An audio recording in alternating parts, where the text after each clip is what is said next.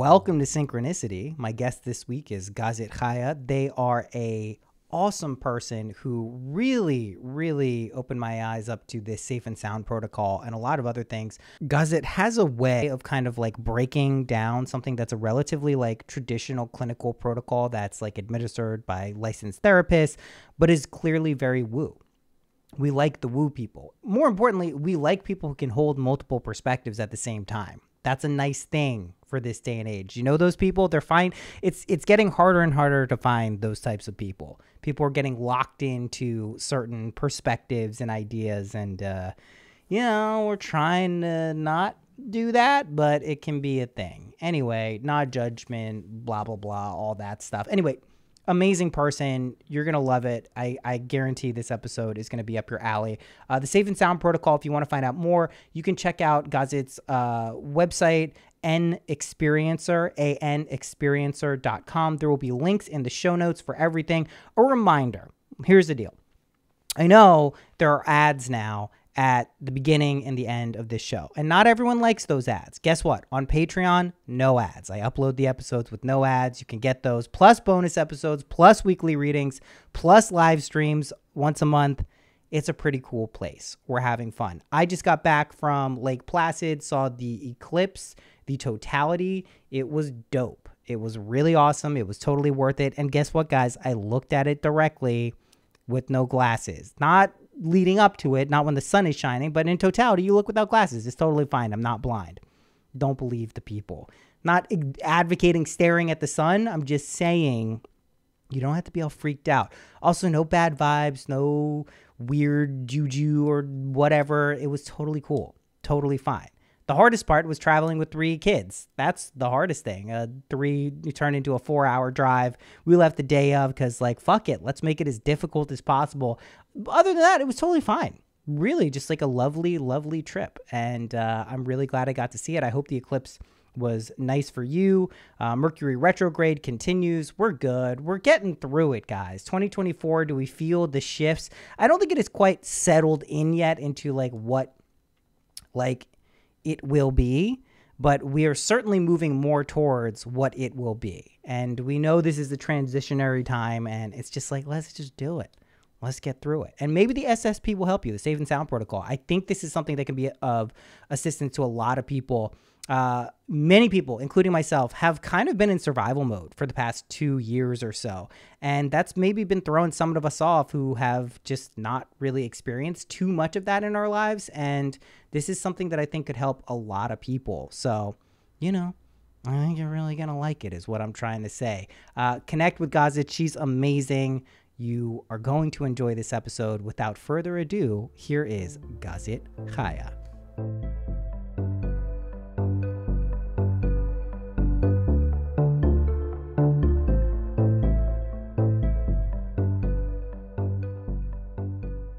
Recording now. That's just so I don't forget. But really, thank you for for taking the time to do this. Oh my gosh, it's such a joy, and I'm so sorry that you got the stomach bug, and then my kid got it. Oh my um, god! It was I I I was really close to going to the hospital. I never think that I need to go to the hospital for everything just because the prospect of sitting in an emergency room totally. while also not feeling well is like worse than the idea of like just toughing it out. But I had never had stomach cramps like that. And I had a stomach bug a few months ago that my kids got. And it mm-hmm. was just like your stomach hurts, you puke, you get it out, yeah. you kind of feel like shit the next day and you're fine. This was just like my stomach was like, I'm like, maybe there's something wrong with me. Yeah. And then I came, I was on my way, I was going to go to the hospital. And then I was like, I got to puke. I don't want to be puking in the hospital mm-hmm. waiting room. And the hospital's like five minutes from my place. So I was like, I'll go there. I puked.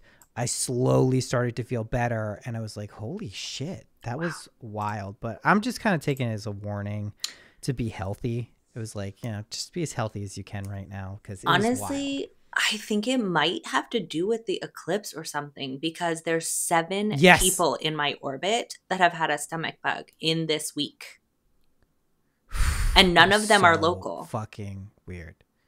Yeah, it was really weird. I I don't remember that in and I really never remember. I never remember thinking like I might need to go to the hospital. It's like maybe something is seriously wrong because like they're like you read the things on Google and it's like, hey, you know, if the pain's a nine or a ten, I'm like, this is like a seven or eight. So I'm like, if this and it was it lasted from like the middle of the night until like uh I don't know noon, 1 p.m. the next day and was getting worse like in the morning. And I was like, fuck. Yeah. I told my wife, I was like, I think I've got to go. But well, the 55th yeah, gene and then it was fine. like a digestive yeah. upgrade thing that I was reading about yesterday. Mm. And I mm. wonder, like, I wonder if there's something happening because they're like, you know, it was Jess's kid, it was you, it was my kid, it was like four other people I work with. And they're all in different places yeah. in the world. So it's really weird. It's, it's, it is eclipsy. I'm uh, let well let's get started. I mean, I'm excited to talk about so many of the things that you are interested in that I don't know about or I know a little bit about, but would love a further explanation. Yeah. You came super highly recommended mm-hmm. from Jessa, who, which whenever she says something like, I think this is really something, I at least look into it. Sometimes I'm like, I get it. And sometimes I'm like, I, I don't get it. This time, that what she mentioned was SSP, the mm-hmm. Safe and Sound Protocol. Mm-hmm. But I know the 55th gene key stuff. Like, I really want to delve into that too. But I'd be curious how you kind of discovered SSP and if you could give like an overview of what it is. Like, I want to talk about a bunch of different yeah, stuff, sure. but like that I am particularly interested in for a variety of reasons. But I want to kind of like hear from you, like how you found it, what it is, because yeah. people, some people have heard about this, but a lot of people haven't. So I'm curious to hear about it. Yeah, it's kind of cool because it's from a really straight and narrow side of like the world. And so I don't think it's been very talked about in this part of the world um, because it's mm. a very like sciency thing. Like the only people who can get certified in it are like licensed therapists or speech pathologists or occupational therapists. Um, so mm. it's like a pretty um, I don't know, like standard Western kind of a, a modality, but it has yeah. this magical, like, creates this bridge for me between the like trauma world and the manifesting world because mm. the trauma world you have all these people who are like yeah i've got all of the aces like i'm doing emdr and like shadow work 24 7 and i'm still miserable and i don't know how to help myself right and yeah. then you've got the manifesting world that's all like um what you can um picture in your head you can hold in your hand you know and it's like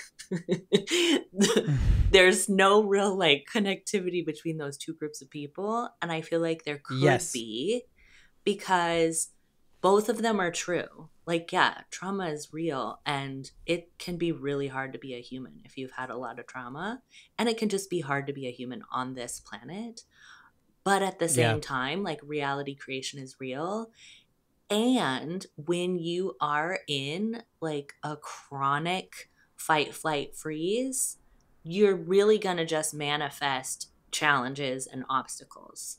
Totally. Totally. And so totally. if you spend all day doing affirmations and your nervous system is like, but I think we're going to die. Like, you, you know, the universe speaks energy, it doesn't speak English. Right. And so for those of us that were not gifted with this like amassing situation where we're just like believe that we're worthwhile and we deserve to be on the planet, like we need yeah. help to be able to access the reality creation stuff.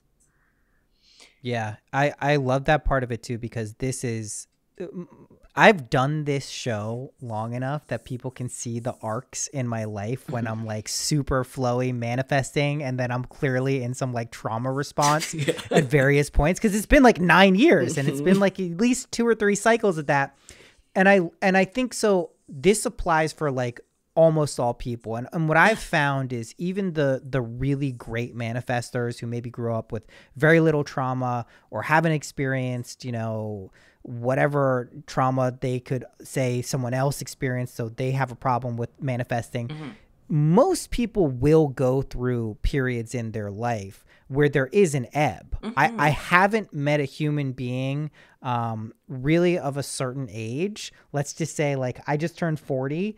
You increasingly find less people who haven't had traumatic experience. Like, they're, they're, they, it happens. Life is hard. Yeah. Life, li- life is going to throw you challenges. I personally think that they're functional and it's not Yeah. like a bad thing, but it's hard to remember that if Totally. you do go into this fight or flight response thing, which I know I go through, and it's just like you're saying, it's not English. Yeah. You're, it's a that's why I always say the feeling is the thing. You it doesn't understand the English, the words you're trying to Nope. communicate with your affirmations or anything else. It's how you feel and genuinely feel. And if you find that you can't easily shift into that feeling, it's okay to get some help. It's like not the worst thing in the world. And the fact that there this does come from the clinical world is particularly interesting. Um, I was literally just reading um, the uh, a research study, the one in Okayama about this, and it was really it was really fascinating. Granted, it's not a lot of people, but it was clinically like up to snuff. It really Mm-hmm. Yeah. was, and it was really helping people. Anyway, I digress. Please continue. Yeah. So, you know, my in to it was that I'm trained as a speech pathologist. So I was, you know, 15 years working in public schools uh, with kids, Hmm. all kinds of neurodiverse kids.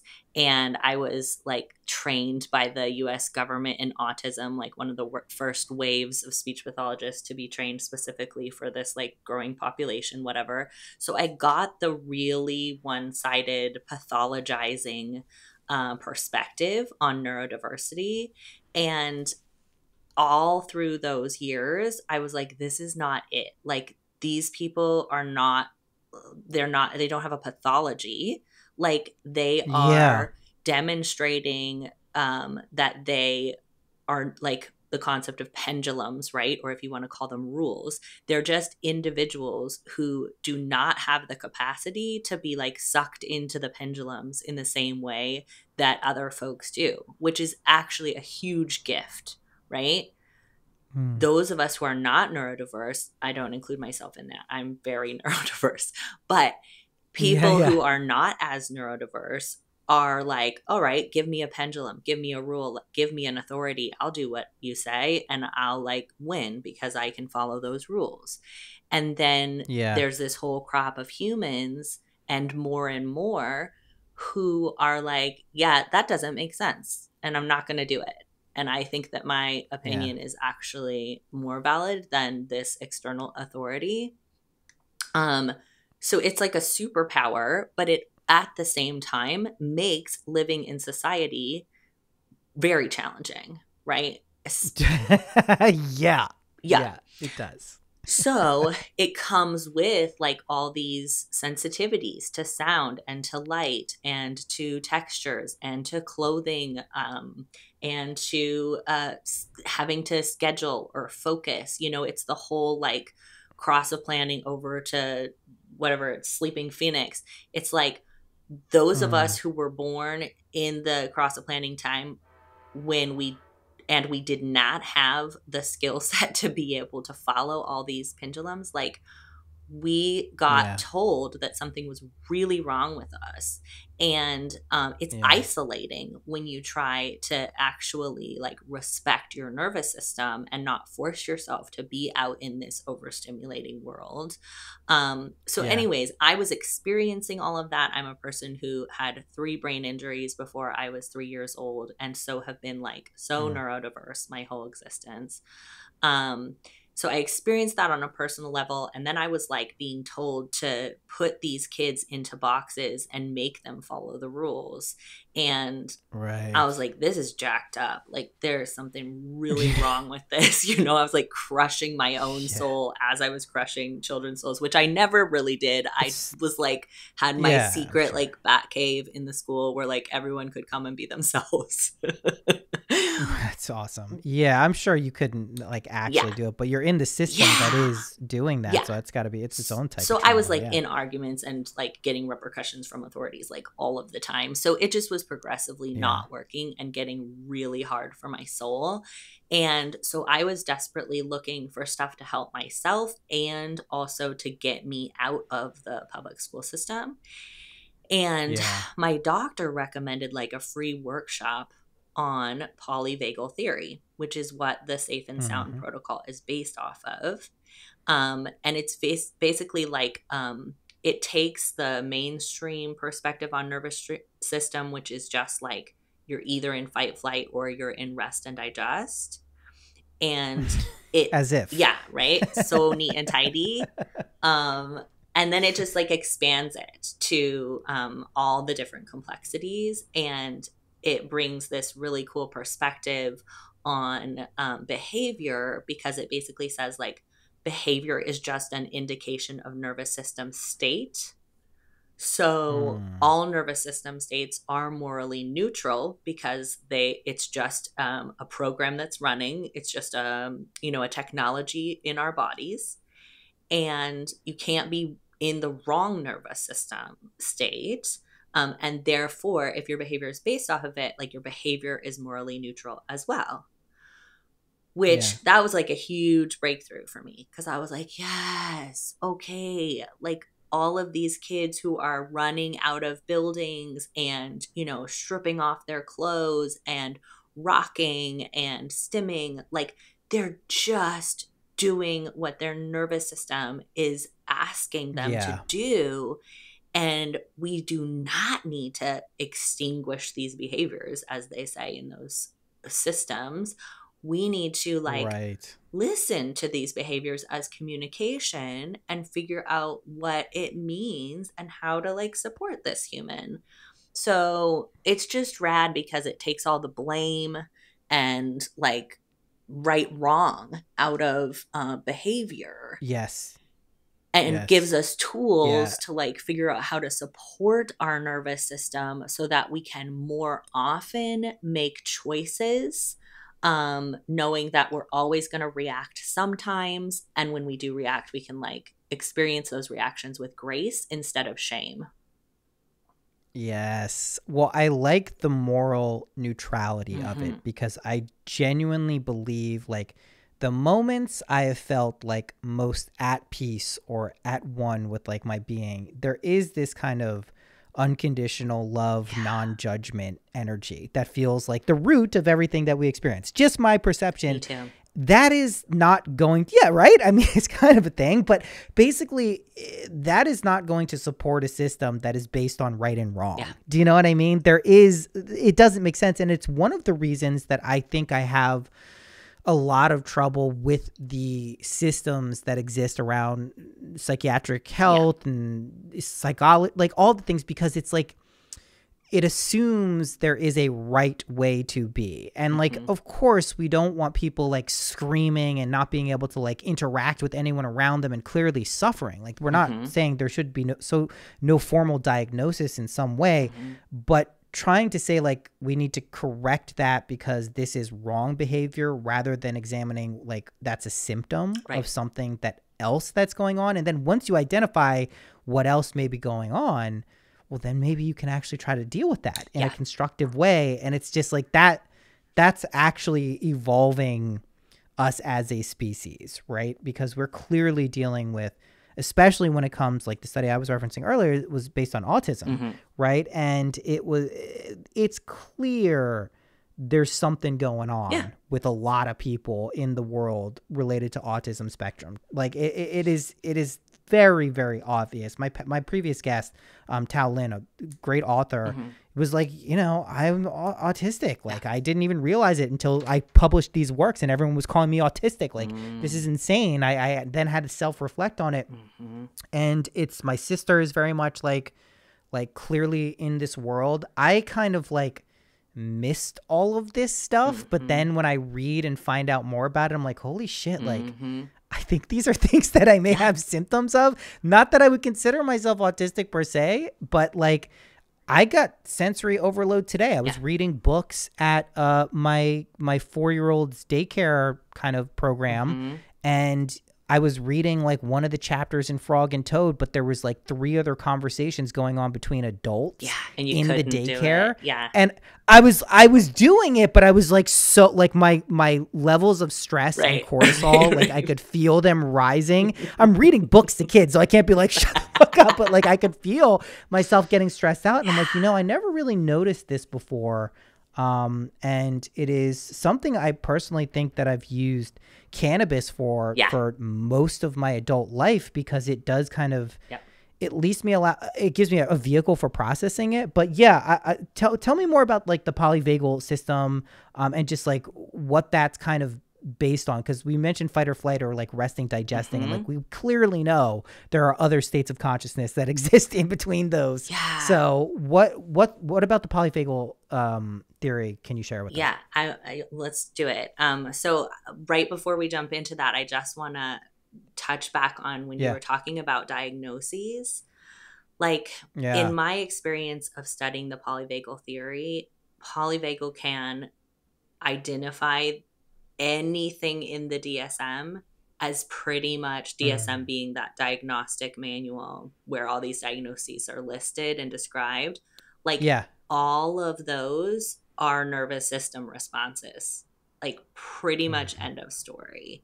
This is not, you know, Stephen Porges who came up with the polyvagal theory doesn't say this, but my interpretation is that any behavioral pattern is like can be traced back just to a nervous system response. Um, because you start to read those characteristics and you just see them as like different iterations of how the vagus nerve is trying to keep you in like biological survival which is why i love this so much because Mm. it takes all of the stigma all of the blame all of the like um you're stuck in this diagnosis out of the picture. Yes. And it says you can learn skills to support yourself. You may always have these characteristics, but you can support yourself within those characteristics. And that is so liberating to me um, as a person who has received almost every diagnosis over the years. And then I finally feel like I'm just like, I just am a person who is ex- expressing that life is really weird. yeah i you know i've collected a few diagnoses on my my journey as well Yeah. and it's true it's like sometimes you're just not processing things like people around you and sometimes you do get the benefit of connecting with people who do process Yeah. things like and you realize oh it's not just me Yeah. that's kind of nice Yeah. that's always a, bi- a big uh, revelatory pro- part of the process but yeah i for mean i love that it can actually like when you can take the judgment of yourself away Yes. For like why you are the way you are that's a powerful Yes. moment and i like that this really addresses this but you're also clearly you know as you're alluding to you're you come came from kind of like a diagnostic clinical Yeah. through the government and public school system but you're clearly woo Totally. you alluded to like 55th gene keys Yeah. like we i mean jessa connected me i mean i don't know anyone who's not woo who she connects Yeah. me with ever so i mean how how do you integrate and synthesize them i see the path but i want to hear from like your perspective how it's kind of like fit in yeah, I love how actually it is seamless it is because yeah. Polyvagal doesn't like it's completely just um, biological science but it it doesn't have anything that contradicts with um, a non-physical or paranormal lens. Um, so Mhm. it's it's a very um, lovely uh, fit i think personally as yes an entirely woo person. Like i have a regular et who's like my my partner on another planet where i am with them and like i'm here as a part of genetic mutation experiment like all that. I can go into all that i love it. I love but it. um i love it. yeah so i'm like very both sides of the fence and i think that's like part of maybe why i'm here on this planet in this version of me because like i identify as non-binary i'm queer trans like queer spirituality queer like polyvagal like i'm queer anything that it is Yeah. because i just am like yeah none, none none of the duality makes sense so totally polyvagal is based off of this nerve that we have called the vagus nerve.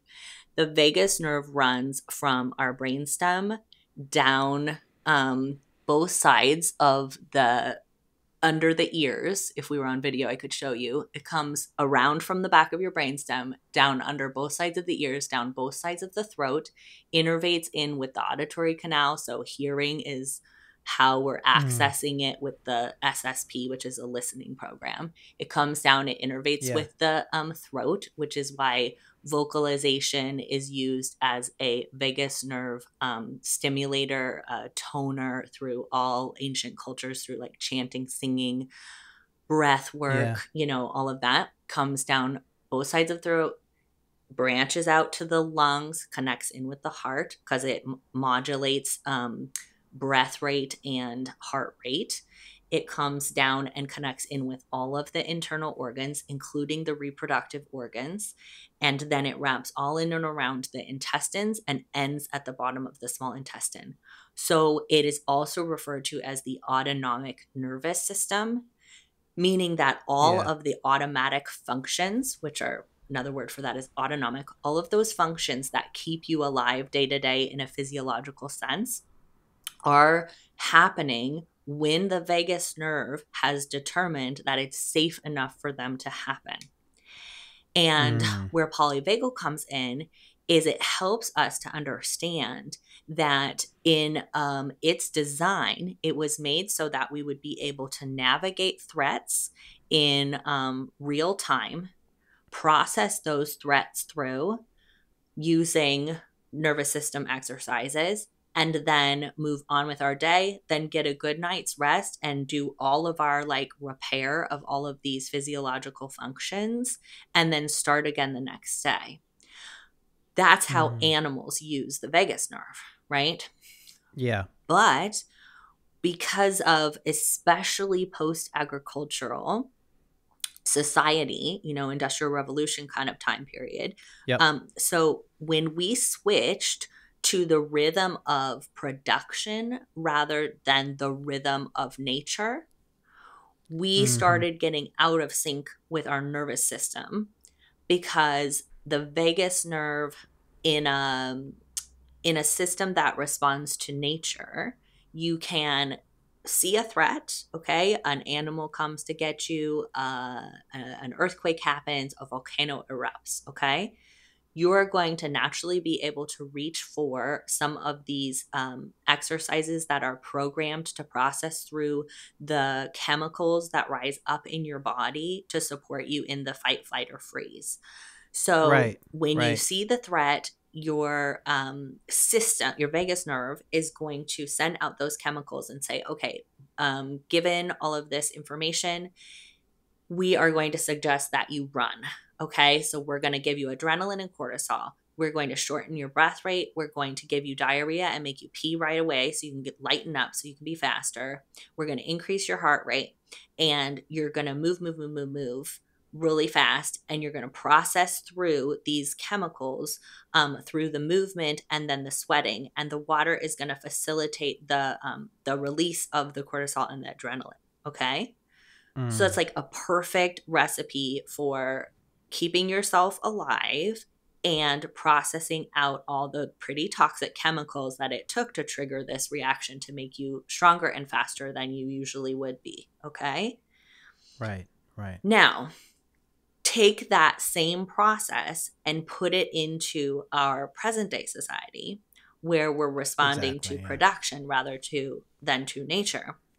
And I get an email from my boss that says your report is wrong and you made an error in it. And I all of a sudden am scared again. My nervous system just goes, oh, we might die because for me, losing my job might mean that I can't provide for my kid, Right. which then w- Right. might mean that I'm a terrible person and we're going to end up homeless and whatever. So my nervous system is like, oh, we might die. Okay. And it releases the same chemicals because it's like, yeah, you should run away from that. Right. So it Yeah. releases the same chemicals. And then I sit there and I respond to the um, email and I drink another cup of coffee. right. and I um and I say mean things to the um to the boss or I say mean things to myself yeah. and I just don't process out any of these chemicals. And so now I'm having a buildup. And now my vagus nerve is like, oh, you're not going to support us? You're not going to do the process?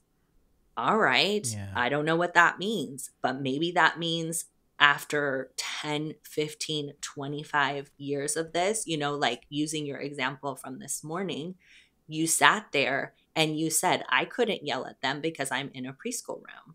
But actually, Yeah. what you didn't realize was that you do have the right to pause the book and say, Hey, friends, I'm going to complete the book in one moment and walk over to the adults and saying, Hey, I have a hard time concentrating when I have other conversations going on around me. Would you all mind pausing your conversation or taking it elsewhere so that I could finish this story with the kids? And if not, no worries. Yeah. Is there someone else who might be able to continue the story? Because I'm not able to.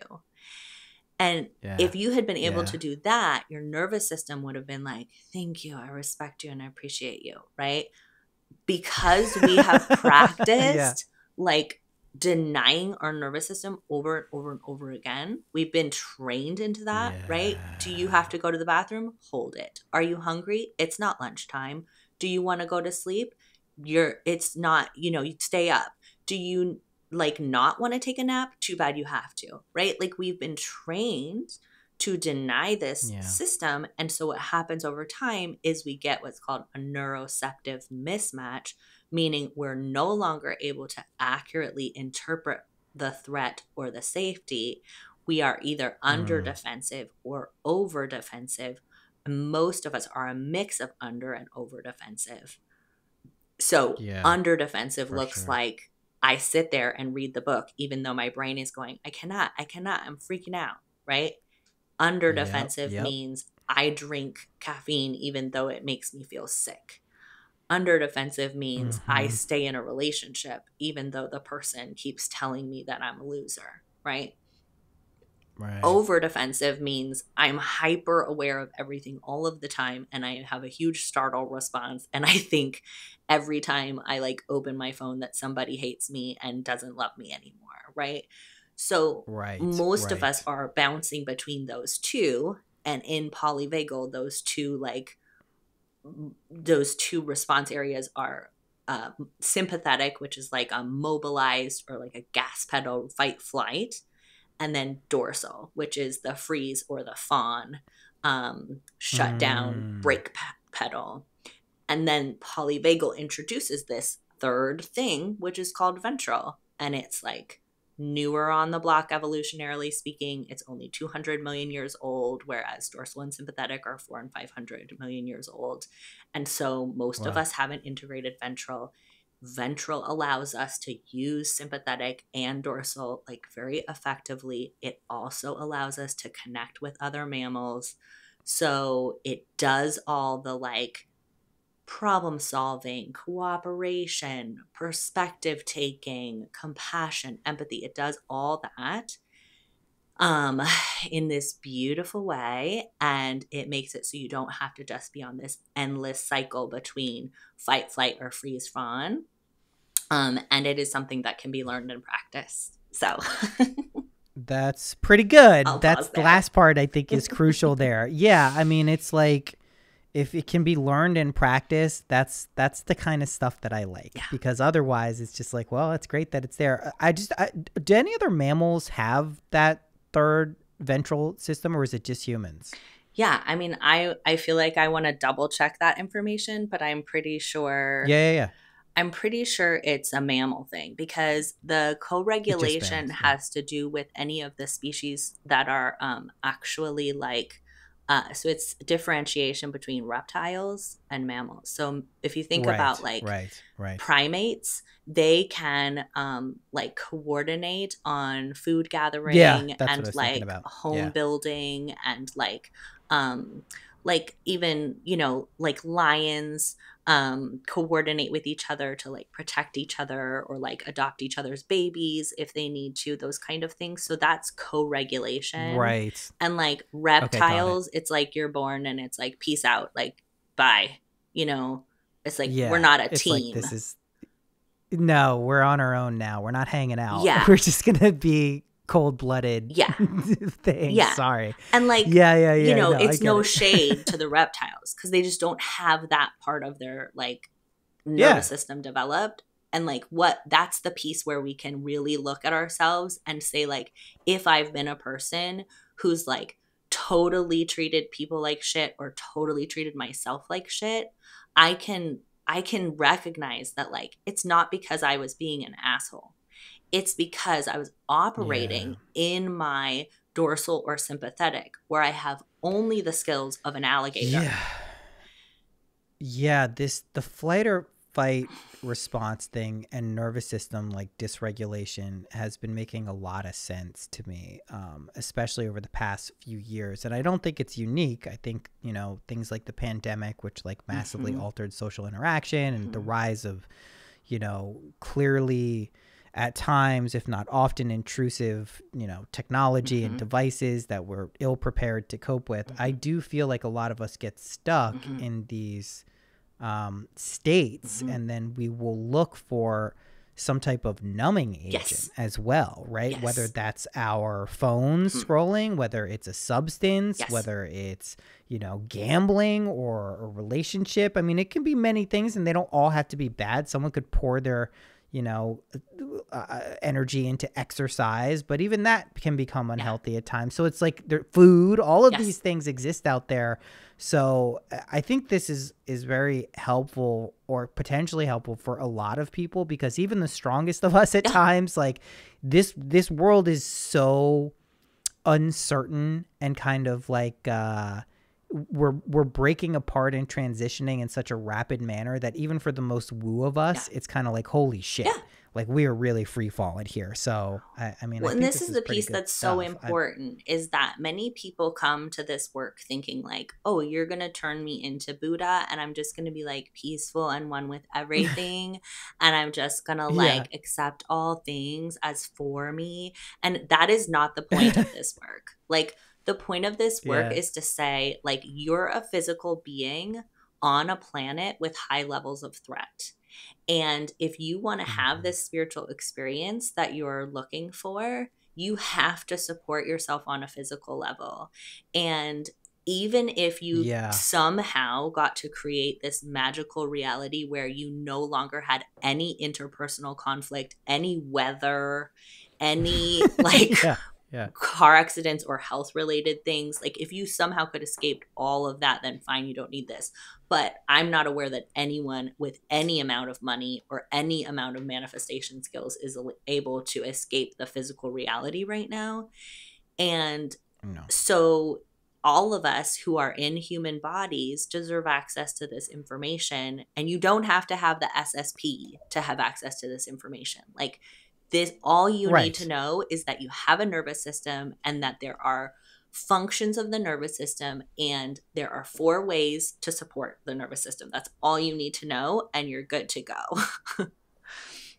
Yeah, and so like I want to talk about also the SSP just like technically too because mm-hmm. this really piqued my interest. Like I went to a music school, I've been an audio engineer and oh. producer for a oh. long time, and so like I actually understand what they're talking about in terms of like uh, you know limiting the frequency to the human speech, speech mm-hmm. frequencies and also the modulation from mm-hmm. 50 was it was it 50 to 3000 hertz or something like that mm-hmm. like i actually understand what this stuff means oh. and i could see just technically how that could be useful right the analogy that's used is it's kind of like a mother's lullaby yeah. Yeah. which you know i've uh i've been around my own young children now going on I guess the two year old's about to be three, so they're they're not mm. super young. But like for seven years now, mm. I've been mm. around my own young children, and you do see what actually calms them mm. down and helps mm. regulate them just intuitively from like a maternal and a paternal mm. sense like you can kind of get into it so i i'm very curious like you've you've you're a practitioner of this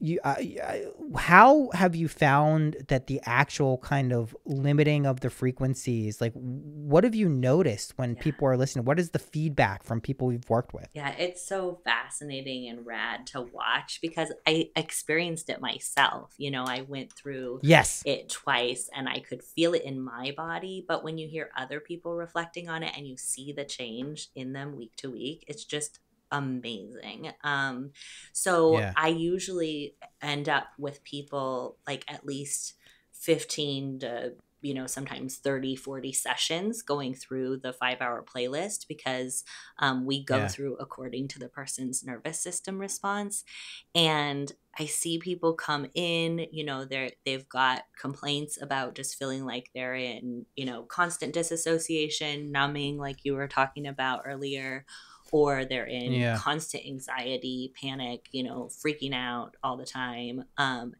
and without fail, like uh, as we get into hour three, people start to be like, I don't know, like, I feel like I'm like noticing what's going on and like I'm remembering things more. And like I can Hmm. tell when I'm hungry or when I'm thirsty. And like I uh, haven't gone to my break room. Like I've eaten lunch in a closet for five years. And like I just went into the break room the other day and like started talking to someone. and it's like, right, right, what's right. happening is they're experiencing the present moment. Yeah. And most of us have never done that. Yeah. I I I- realized I mean I had done it unintentionally Mhm. in the past, but I realized there was. I think it was like a year or so ago, something like that. I did a whole episode on it because how profound it was for me. Mhm. I was like, I don't think I've really I think I've been avoiding the present Yeah. moment as actively Yeah. as possible. Unintentionally, Yeah.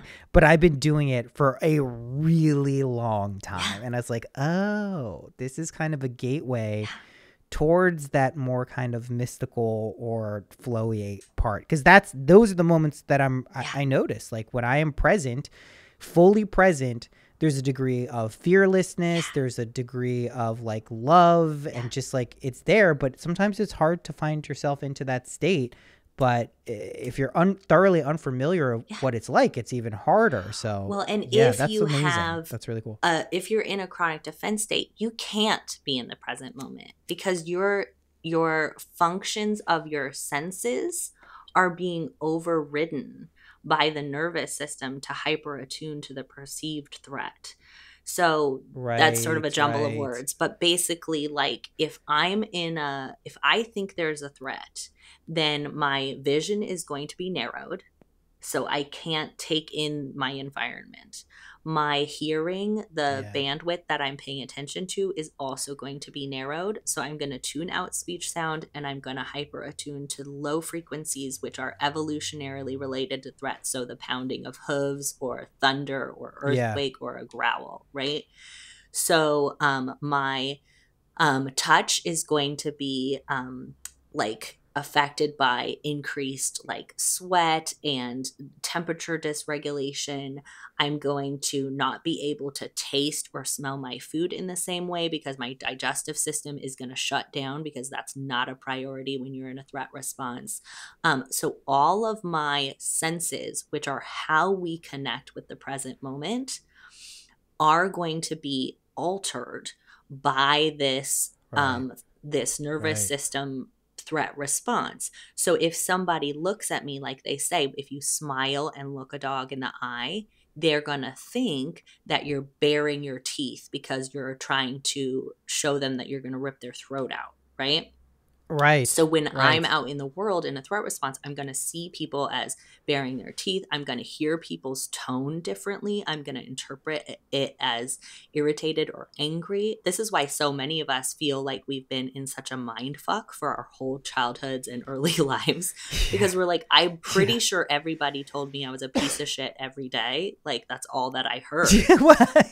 And it's like, yeah, I mean, it was also like you have the luxury now, I'm sure too, of being a parent. I just feel like the generational gaps in terms of parenting, um, especially for like boomers and the older generations, like some of them were really also just telling the kids Yes. that you're a piece of shit. So That- like there is yeah, that. that perpetuated us to like be in this threat response and that's all we could hear for the rest of Totally. our life right because i don't know about you like if someone's like oh you're a nice person i'm like oh you think i suck like I, I I knew it, you know? And like I literally have a book where I write down like a journal where I write down when people say nice Yeah. stuff to me because it takes me like a month to process it. Like I have to read it and be like, are we sure? Like I think I, I don't know. Maybe you should double check. Like because Yeah. you know but but yeah it's Yeah. it's it's so the the present moment thing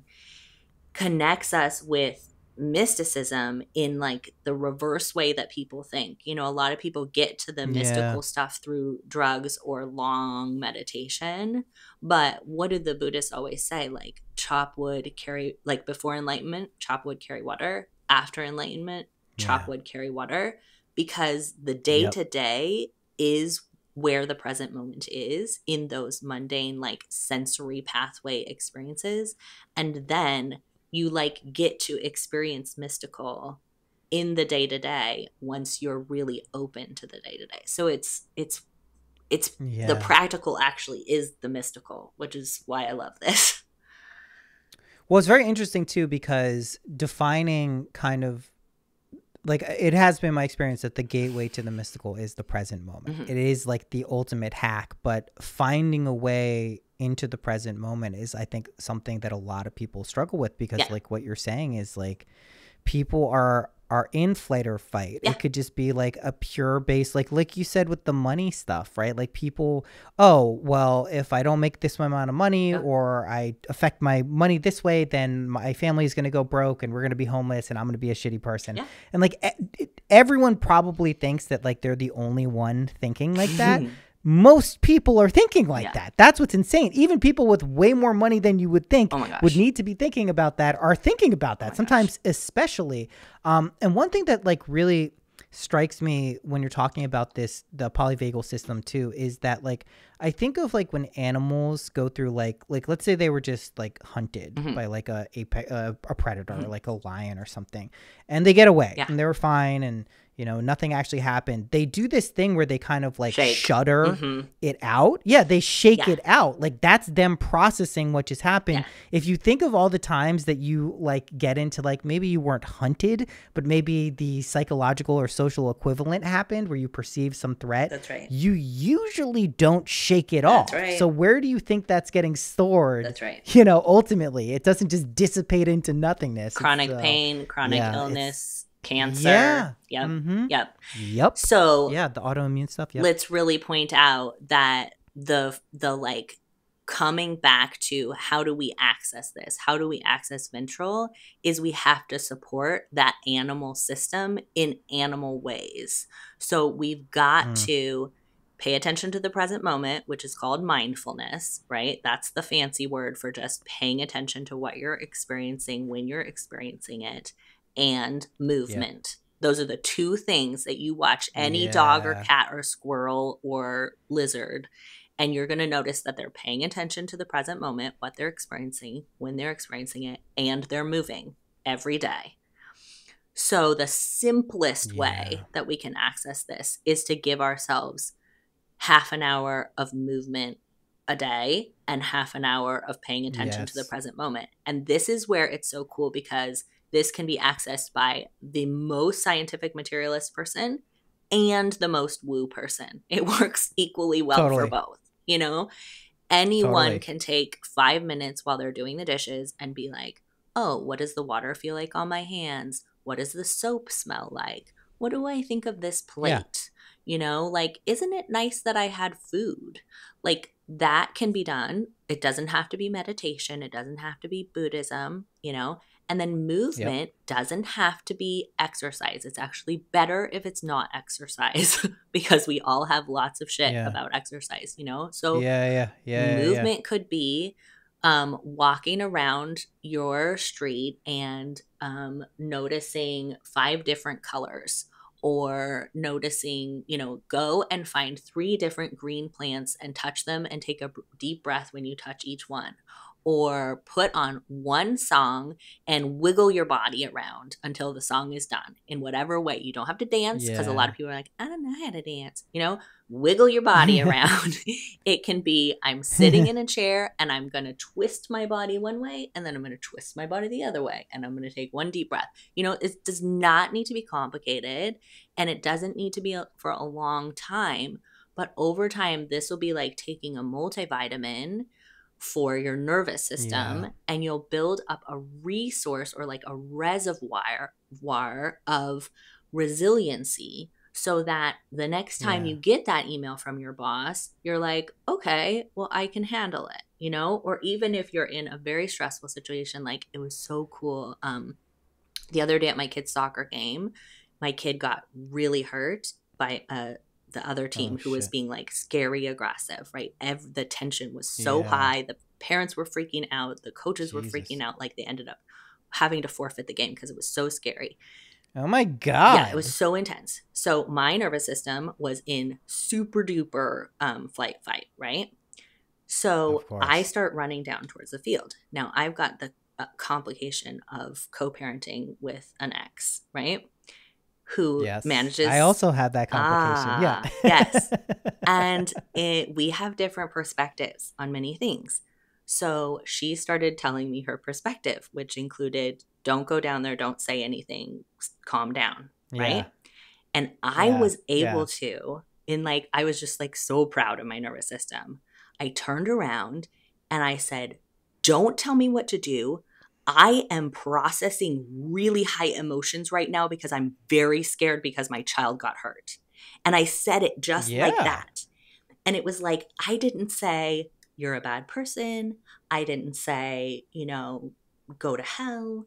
I just was able to say, I'm having a flight fight response. And part of it is Yeah. moving my body and asserting myself through assertive communication. and Yeah. it was no, phenomenal because it was like, I, I'm not looking to just sit there and be like, nothing's real like my child is not real and my child chose Yeah, this yeah, environment and everything is perfect and namaste you know like i'm not trying to be that Totally. um but i i was able to be like i'm upset because this is scary and i was honest and i was clear and i was assertive and i set a boundary you know and it's like that's that's what this gives you the capability to do not to just like be like oh like this is a video game and it doesn't really matter you know because that's some bullshit No.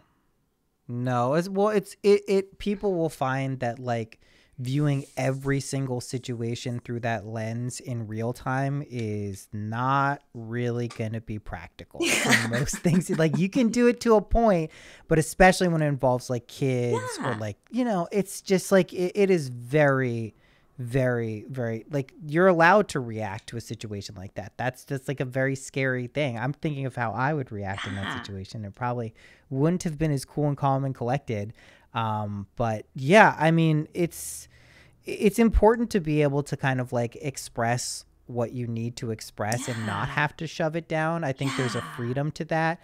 And we really don't have a lot of frameworks for that right now. Yeah. and it's like it's it's affecting people it seems at large. I know a lot of people have difficulty kind of like navigating all aspects of life gracefully and i Mhm. do think if you can you know you're it doesn't mean again you're going to only experience positive things what's really interesting to me about this too is like i would almost say that like being able to be present in the sense that you're mentioning or Mhm. speaking about is like a prerequisite for actually like manifestation too. I agree. Like that is from that is the place where you actually are getting to kind of like incept yourself or whatever or make it yeah like a let's video call game. it, but- intentional manifestation because we're all manifesting yeah intentional we are all manifesting all the time but let's say you're feel let's say like you have you're you're a lot of people are like this my i've been like this plenty of times right and i'm sure it unfortunately probably won't be the end of it Mhm.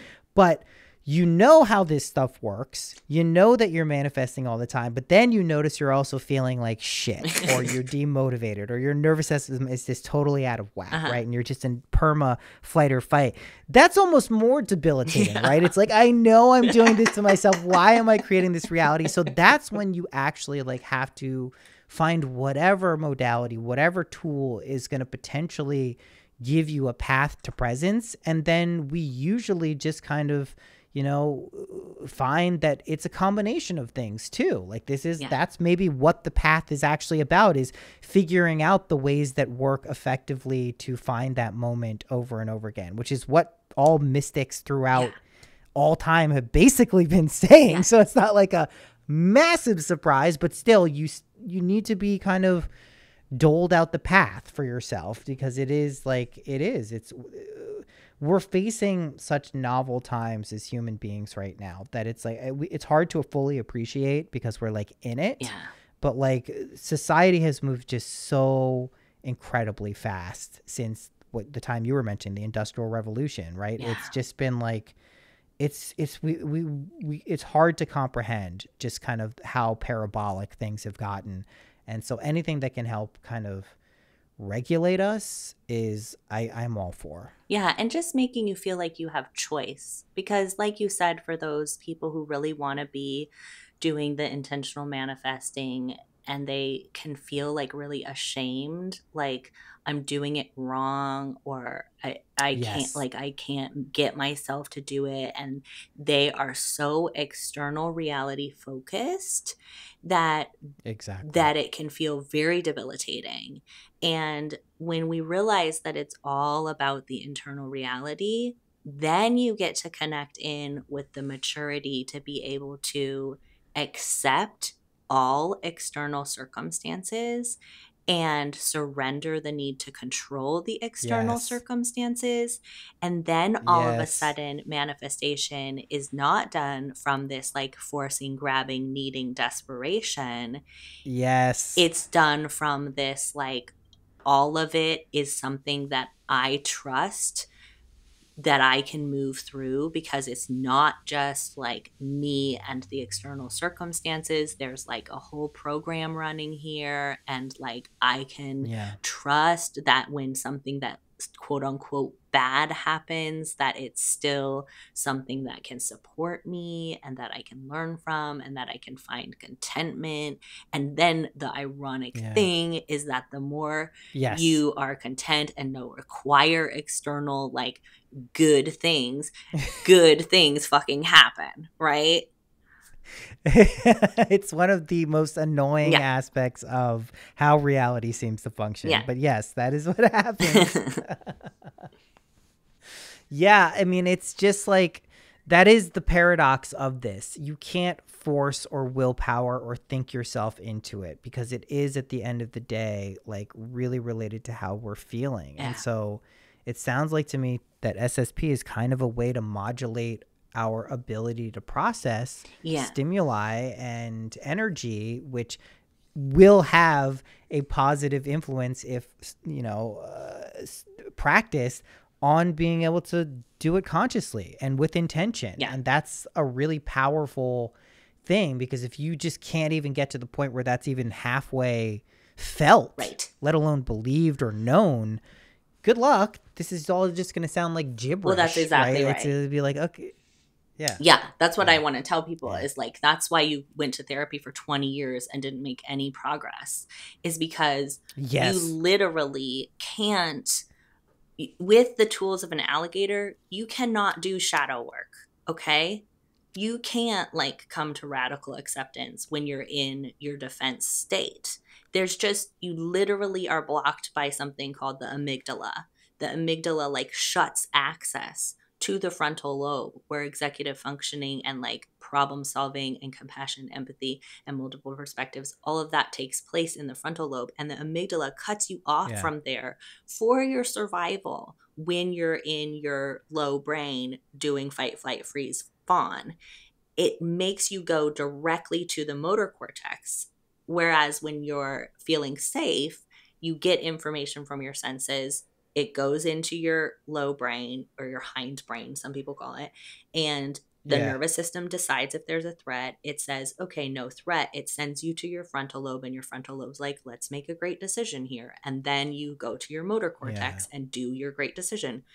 When you're blocked by the amygdala, there's nothing that you can do other than support your nervous system with like the shaking that the little animal does to come back yeah. process it out and come back to that safety. So there's like four ways to do that for your amygdala and they're all embedded in every wisdom tradition and like indigenous tradition. It's just breathing, movement, vocalization and mindfulness. That's it. Yeah. And so yeah. the SSP yeah. is like a really fancy cool tool that can help you get there passively when you have a lot of blocks up um, because you don't have to do the SSP like the SSP does you. It just goes in passively. Um, so it can give people yeah. a really cool jump start. But I want everybody to know that you can access this without the SSP. It takes more commitment and diligence and is easier done with like a coach or someone who's like really going to help you get on track with that. Yeah. Um but you can Yeah. you can do it without the SSP and even if you do it with the SSP, the SSP is just a jump start. It's like going to a 30-day boot camp or something. Like, yeah, are you going to be in more shape after it? Sure, but if you don't continue it for the rest of your life, like it's not going to matter. So the SSP is how to start like a lifestyle of taking care of your nervous right, like- system. Right. It can jumpstart you into behaviors that you can choose to continue with or not. Yeah, no, I, I really like that. I mean, what I was thinking of too is I was like, I got to get in and start filtering out some music because I, I, as I understand it, the SSP basically like it's playlists, right? Yeah. It's like songs that are played for. It would be super cool if people could kind of like pre-select their playlists Yeah. that met certain criteria for it and then run it through like an SSP filter oh, that's a great which idea. I I'm not. I, I just think that it's like probably not as crazy hard as it sounds No. because like if you understand audio stuff, it's like it's kind of cool to be able to allow that and just like for certain people, especially trying to evoke certain states Yeah. because you know there's a lot of social situations and I do think music has such a powerful thing Mm-hmm. and for people who don't know what like something limited to like the vocal spectrum Mhm. it's not crazy it's not like you're hearing some wildly augmented no, it just thing. sounds like There's regular music. higher yeah but it is cutting off these especially higher Mm-hmm. frequencies which are usually present and you know a certain level of the lower ones to 50 hertz it's pretty cool i i i'm really like it's piquing my interest in in a way that something hasn't in a long time so like Cool. if I can't believe we've already spoken for like an hour. I wanted to like, uh, okay, let me ask this question, and then I want to talk a little bit about 55th Gene Keys Okay. um, here too, just because like I want to understand that better. But let's say people are interested in SSP. I know you're a practitioner. Like, Mm-hmm. what's the easiest way for people to learn, experience, book? Like, how do they do that? to learn about what the SSP is.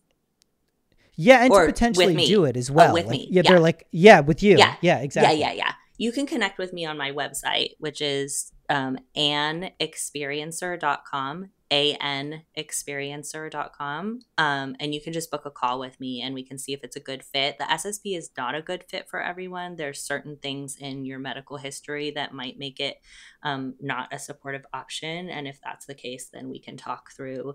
Um, and I because of that, I do want to mention that um, I love that you're interested in figuring out the filtration and all that. But um, the reason why it is like a certified provider that gives it, that does it with you, is because um, it is a powerful physiological intervention.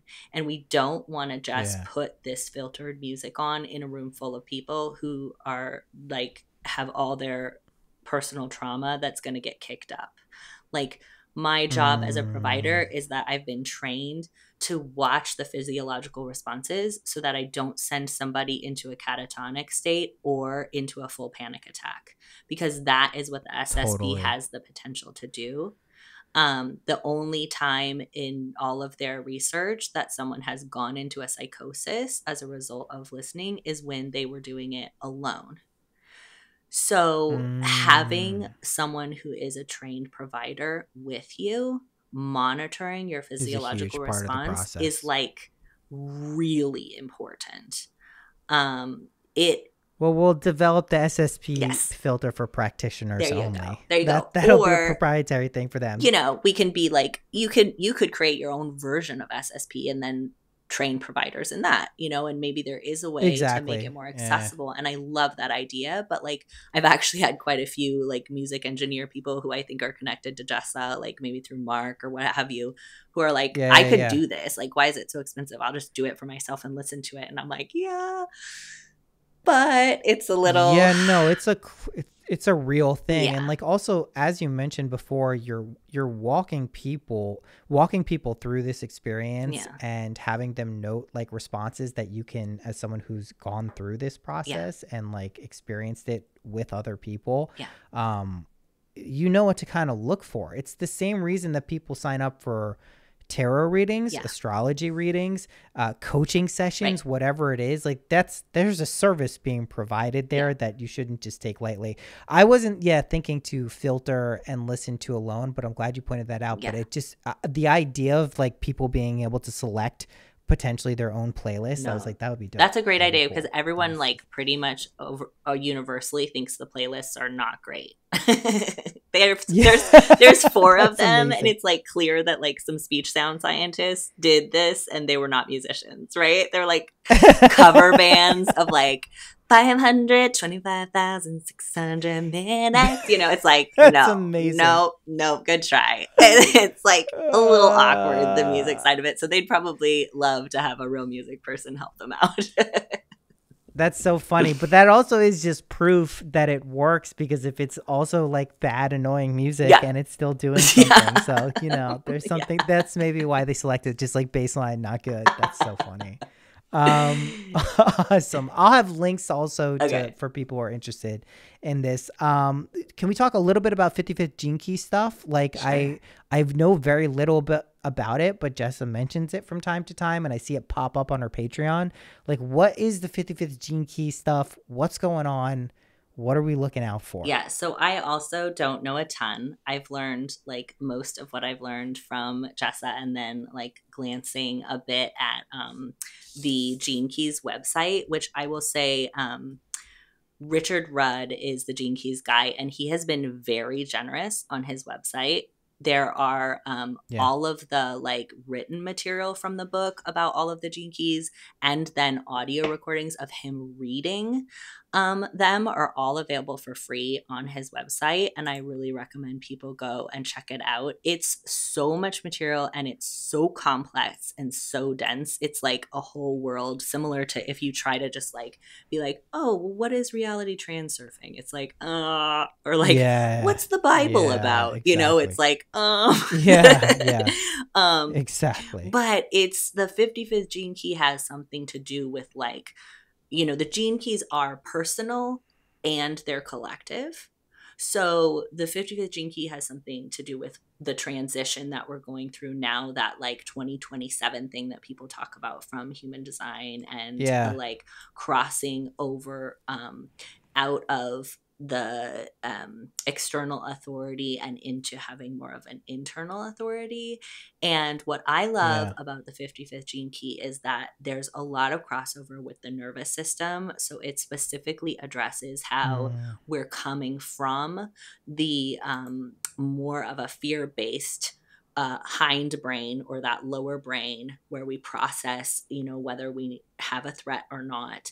We're shifting from being primarily oriented to that um, into being more uh, um, oriented on unconditional love. So we're moving out of Yeah. judgment and victim victimhood and towards like creative um capacity that requires a foundation of like we're all good right so if you yes. like if you have someone who can be wrong then there can there's always going to be a victim and a perpetrator and a savior that that Yes. those two concepts like right wrong go together with victimhood and so as we let go of the um, relying primarily on that system of like threat versus safety good versus bad right versus wrong our nervous system is going to need to um, do less in terms of focusing so much on survival based on like threat versus safety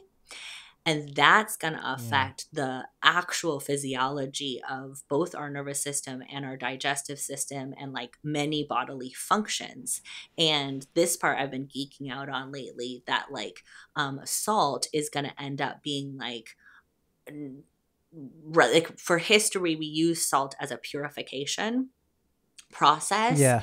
and the 55th gene key is working with i'm going to forget what the i think it's the 64 um, which is a water related um, i might be getting this part wrong but the salt is working with the water right now and the nervous system because it's t- the salt connects to the chemicals that are released when we experience threat and it carries Mm. it out via water, via our um, sweat and our tears and our pee. Sweat. Yeah.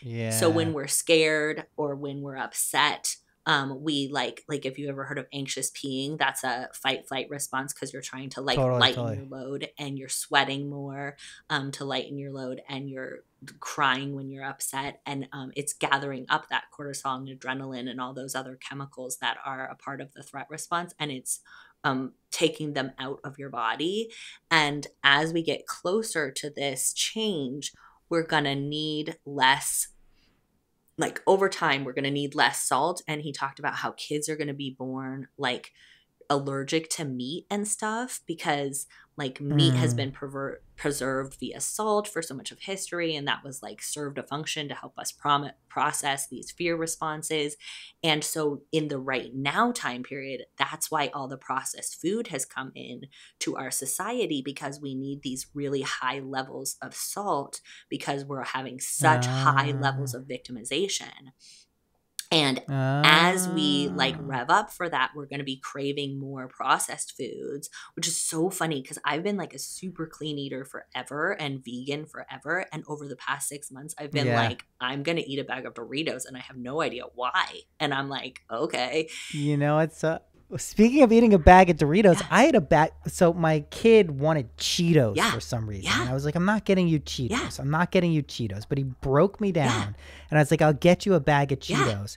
I gave him Cheetos, and then I ate the rest of the That's Cheetos. And I was like, right. I used to like Cheetos as a kid. Yeah. I don't would never get Yeah. Cheetos on my own. I'm like, what is going yeah on? that's Yeah, 2000% how it happened for me too because my kid was like i need doritos and i was like we're not we're not a dorito family you know and it's Yeah, yeah, totally. and then, then I'm like, all right, well, like I'm buying like now. I he was like went to his other mom's and and the half bag of Doritos is there, and I was like, apparently I'm eating this half bag of Doritos and not have to buy him more because I ate his Doritos.